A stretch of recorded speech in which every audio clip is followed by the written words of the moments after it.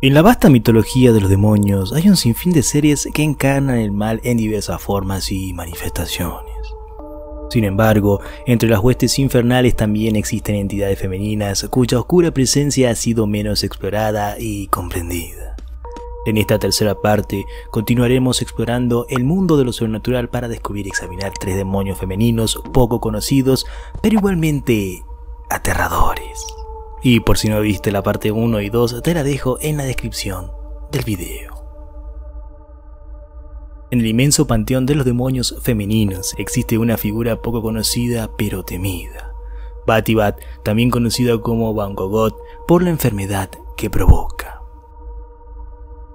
Este demonio forma parte del folclore ilocano, un grupo étnico y lingüístico de las Filipinas. Batibat se presenta como una mujer de gran corpulencia y a primera vista parece pacífica. Sin embargo, su naturaleza cambia drásticamente cuando el árbol en el que habita es cortado. Entonces se convierte en un ser vengativo y mortal. El modus operandi de Batibat es siniestro. Visita la casa construida con la madera de su árbol y se posa sobre el pecho del durmiente, causándole la muerte por asfixia. Esta fatalidad nocturna se conoce como Bangogot y guarda similitudes con la muerte súbita del adulto durante el sueño. Afortunadamente, existe un método para contrarrestar el ataque de Batibat, morderse el dedo pulgar del pie. Este acto puede liberar al atacado de la pesadilla inducida por Batibat y salvarlo de su mortal abrazo. En los anales del folclore europeo resuena el nombre de Notícula, la oscura y enigmática deidad que reinó sobre las sombras de la Galia medieval. Conocida como Diana de Galia, Notícula fue la prominente figura de las vampiresas en Francia durante la Edad Media, siendo heredera del legado de Bensocia, la antigua diosa gala de los vampiros, cuyo origen se remonta a los albores del tiempo. El culto a Noctícula alcanzó su punto culmine en el siglo VII después de Cristo, coincidiendo con la tumultuosa era de los juicios y persecuciones inquisitoriales a la brujería. Aunque Noctícula no era una presencia frecuente en estos juicios, su influencia se extendía entre sus devotos con una relativa benevolencia. Según las crónicas del demonólogo Joan Weyer, Noctícula era la consorte voluble de los demonios Amodeo y Belcebú, quienes le rendían tributo en sacrificios ofrecidos por sus devotos.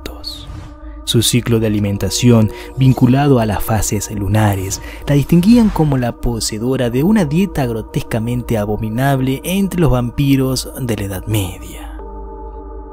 Los rituales en honor a Noctícula, descritos con detalles macabros en obras como el Pseudomonarquia de Monum, revelan una adoración envuelta en horrores indescriptibles.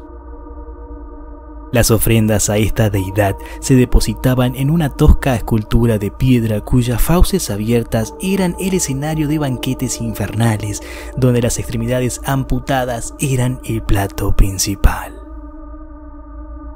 El culto a Noctícula, integrado exclusivamente por mujeres, prohibía la participación masculina bajo la pena de muerte.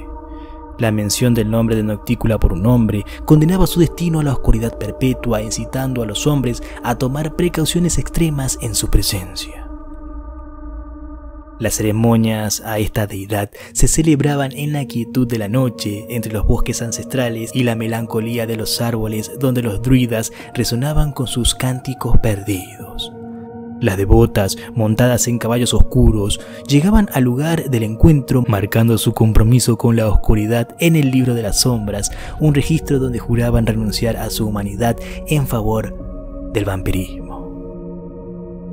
Aunque las ceremonias y rituales de Noctícula permanecen envueltos en un manto de misterio y secreto, su legado perdura como un recordatorio sombrío de un pasado marcado por el terror y la oscuridad.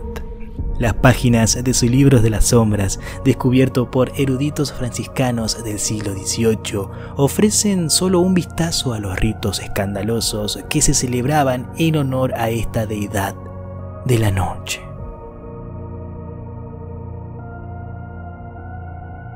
Y para cerrar el video de esta noche, entre los velos del folclore europeo emerge la figura emblemática de Jabondia, la demonio reina de las hadas, cuyo reinado se extiende sobre los dominios de las driades helénicas y las parcas tejedoras del destino. En las profundidades de los bosques ancestrales y en los susurros de los arroyos, su presencia se siente como una sombra fugaz, un eco de la dualidad de la naturaleza. Las leyendas cuentan que Jambondia, con su encanto irresistible, suele enamorarse apasionadamente de los hombres mortales, solicitando sus reclamos con tono candoroso. Sin embargo, aquellos que se entienden sus ruegos pueden enfrentar su ira siendo convertidos en piedra como castigo por su desdén. Directamente vinculada con criaturas mágicas venerada por los druidas, Jabondia personifica la dualidad de la naturaleza, oscilando entre la cálida maternidad y el sensual exterminio. En las mitologías antiguas, su presencia se entrelaza con las ninfas protectoras de la vida y las moiras guardianas del destino inexorable. El legado de Jabondia se multiplicó a través de las novelas de caballería, donde su personalidad seductora cautivó la imaginación de generaciones. Se dice que incluso Juana de Arco, en las profundidades de su bosque natal, fue visitada por la presencia de esta entidad, quien confirmó las profecías y revelaciones de la doncella de Orleans. A través de las baladas y la poesía, Jabondia se convirtió en amiga y confidente de figuras legendarias, construyendo su historia en el tejido del tiempo antiguo. Su legado perdura como un recordatorio de la dualidad de la naturaleza y el destino, un eco de misterio que perdura en los rincones más oscuros de la imaginación humana. Es así que estas entidades, con su influencia y poder, han dejado una marca indeleble en la memoria colectiva, tejiendo historias de terror y misterio que han perdurado a lo largo de los siglos.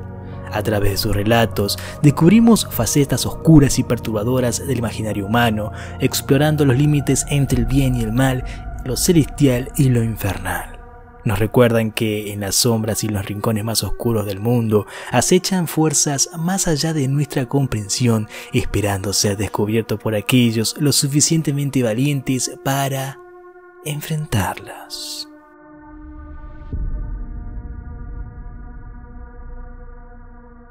Si el video te gustó, por favor dale un pulgar arriba y compártelo con un amigo. En la caja de comentarios estarán mis redes sociales y el link de Discord para que te unas a nuestro servidor. Si es la primera vez que ves un video mío, por favor suscríbete y dale a la campanita para que te avise cuando suba un video nuevo. Mi nombre es Don T y te deseo muy buenas noches.